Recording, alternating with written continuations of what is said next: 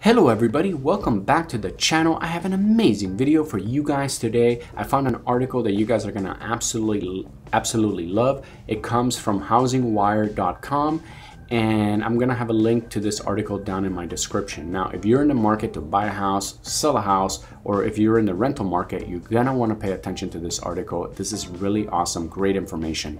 Now, check this out. The article starts, the nation's housing market is on a correction course the home price growth will moderate, even decline in some supercharged markets, industry economy and economists project. Here, let me read a little bit. Interest rates and uh, uh, rising interest rates and slowing economy overall are already taking some air out of the rapid home price appreciation the housing market has experienced over the past year, according to the recent released Federal Reserve uh, Beige Book of July. Several landing, leading housing market economists have, are also projecting that deceleration in home prices will continue in the near future as homebuyers' demand ebbs with the economists even predicting that prices will decline in some particularly hot markets across the nation. Housing uh, demand weakened noticeably as growing concerns about affordability contributed to non seasonal declines in sales, resulting in a slight increase in inventory and more moderate price appreciation, State of the Federal Reserve's most recent release Beige Book report, based on data that report um, happened in mid July.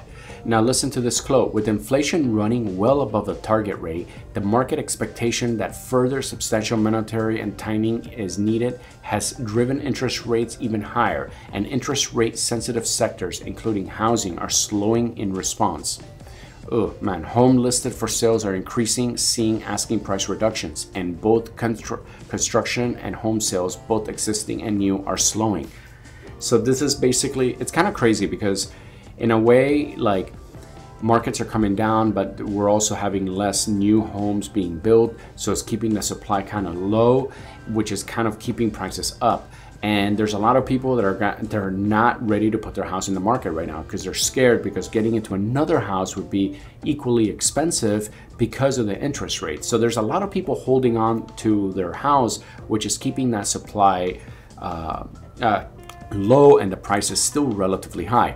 But here's the problem. What is going to make that change, right? I, I believe if there's a downturn in the economy, you can see people, if there's people getting laid off, if people can't afford their mortgages anymore, they have to sell. Uh, it's going to definitely bring more uh, buyers into the market. Also, if the housing market, I mean, if the economy begins to crash, you're going to see possibly, you know, labor come down and some things will come down in price, which could turn, you know, um, uh, builders back on to make more houses, which would also increase the amount of homes out there, which will, you know, stabilize the, uh, the price. The problem is that home prices are just too expensive for the regular American these days. Our jobs don't pay enough to be able to afford a house. You know, you need two people, two incomes literally to be able to afford a house these days, you know, and it's hard. You need like two people making you know eighty to one hundred and fifty thousand dollars a year, uh, you know, to be able to buy a house. And you know, now you're sitting there, got both of you uh, working, and God forbid, you know, your relationship goes south and you get a divorce, and then you guys are everyone is screwed, right? So that's the kind of like the problem that we're we're seeing right now is that just the markets are the the the, the the job market is just not there to support these super high home prices. Here, let me continue reading. Taken together, these factors and exacerbating affordability challenges are causing a slowdown in the housing market. Overall, annual mortgage origination levels are expected to be 2.8 trillion in 2022 and 2.3 trillion in 2023. That's a big change. Down, uh, down from 4.8 trillion in 2021. That's huge. That's like half, guys. Ha annual mortgage origination. That means the amount of people that are gonna get new mortgages is literally going to be down by half, okay, in 2023. That is kind of crazy. That is kind of crazy. We calculate that uh, over 80% of metro areas are meaning, meaningfully overvalued. Okay, 80% of metro areas. Well, guess what, guys?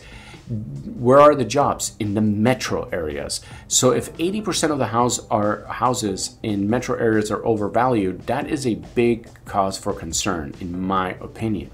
So home sales have gone so so home sales have really gotten completely hammered. Inventories are rising across the country and they're still low by historical standards. But I suspect that that's going to change pretty quickly, particularly in, mo in most juiced markets, because really people are now are scared right?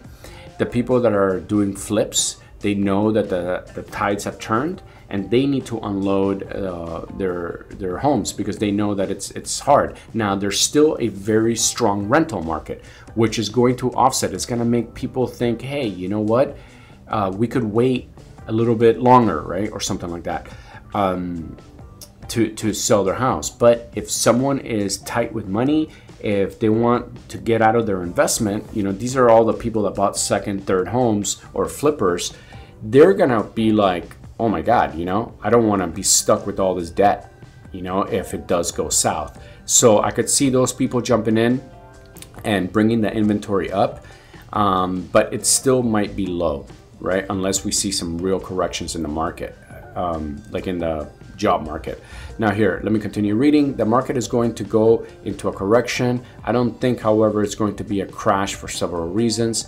I don't think that national housing prices will decline in a meaningful way, but there will be some price declines across the country. The worst price declines, 10% peak to Tro, Phoenix, or Tampa, or Tampa. Although the grand scheme of things, they're all those are also markets where prices went up 30% in the past year and 30% in the previous year. So you're only giving back a little bit of what has been gained in the past few years. I this is sounds to me a little bit like naive for this person to say, uh, because um, I don't necessarily agree. Because he's they're look you see, a lot of people I believe that are writing these articles that are kind of they don't want a housing crash, right?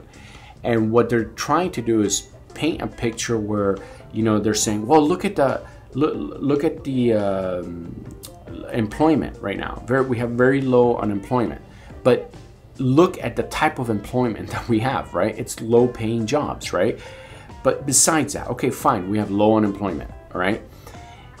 If everyone is like, oh, there's the crash is not going to be as bad because we have this, this, this right now, but if those things change, if the economy goes south, if people lose their jobs, look at Walmart just reported uh, earnings loss is bringing the market down, right? Uh, you know, is bringing Target down and whatever. So people are spending less because things are more expensive.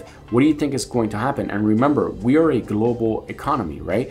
There's inflation in Europe, there's inflation across the world, right? So things are more expensive eh, as a whole, and things are becoming more expensive for us to buy.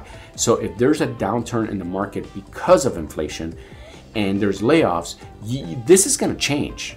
So what this article is saying, you know, this guy's going to be writing a new article saying, well, we didn't anticipate this, this, this, and that, you know, but that is something that we should be anticipating because if we start seeing layoffs, this whole article would be written a lot differently.